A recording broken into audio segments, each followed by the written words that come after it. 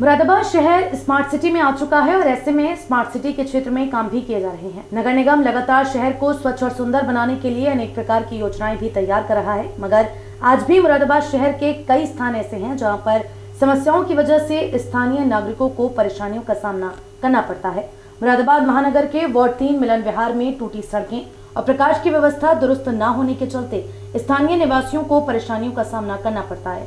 कई बार स्थानीय नागरिकों ने पार्षद से शिकायत की है, मगर कोई समस्या का समाधान नहीं हुआ। स्थानीय निवासियों का ये कहना है कि टूटी सड़कें और गंदगी की वजह से आए दिन यहाँ समस्याएँ खड़ी हो जाती हैं। साफ़ सफ़ाई ठीक ढंग से न होने की वजह से बीमारियाँ फैलने का डर भी बना हुआ है। साथ ही प्रकाश की व्यवस्था भी दुरुस्त नहीं है, और कई बार प्रकाश की व्यवस्था दुरुस्त न होने की वजह से आए दिन यहाँ पर सड़क हादसे भी होते हैं। नगर निगम प्रशासन से इन समस्याओं के समाधान करने के लिए स्थानीय निवासियों ने मांग की है। दो महीने से गंदगी के अंबार लगे हुए हैं मच्छर बहुत पैदा हो रहा है लगातार नालियों में पानी भरा हुआ है नाली सारी टूटी हुई हैं कई बार शिकायत हो चुकी है उसके बाद भी कोई इस पर ध्यान नहीं दिया गया है।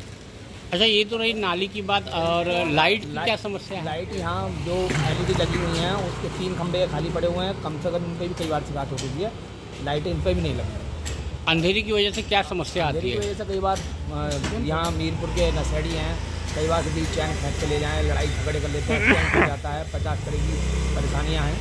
कई बार पंडित की दुकान पर से झाड़ू भी चोरी हो चुकी है बंडल चोरी हो चुका है। इसकी शिकायत आपने क्या पार्षद से करी थी या निगम के अधिकारियों से की थी? ये जो, पार्षद से की थी। पार्षद की कोई हल निकला अभी तक? कोई हल नहीं अब आप लोग की क्या मांग है? क्या होना चाहिए? लाइट लग जाए और एलईडी लाइट लग जाए और नाली बन जाए नाल, नाली की सफ़ाई होती है जी क्या समस्या है और कौन से वार्ड की ये समस्या है? ये दो महीना हो गया है मिलन बिहार वार्ड तीन की समस्या आई है।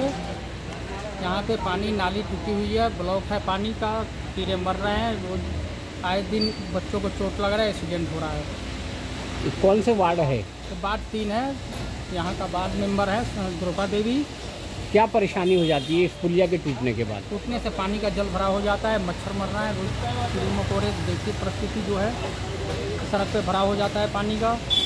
इसकी शिकायत करी थी आपने एक दो बार? द्रौपा देवी से शिकायत हुई है। कोई हल निकला अभी तक? कुछ नहीं। सही हो जाएगा बन जाएगा और कोई समस्या का हल नहीं तक।